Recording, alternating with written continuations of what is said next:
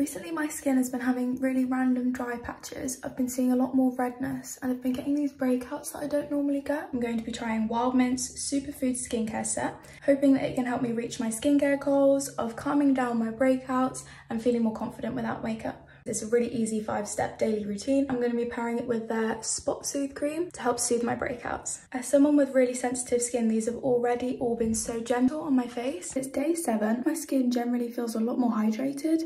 It looks a lot firmer and plumper. It's day 14. My skin has cleared up so much. It has been nearly four weeks now. All the random dry patches I was having have gone. My skin is so much more hydrated. All of my spots have nearly completely cleared off and I feel so much more confident in my natural skin. So with their thousands of positive Trustpilot reviews and a money back guarantee, you literally have nothing to lose. If you're looking for a new skincare routine, I would definitely recommend Wildmint Cosmetics.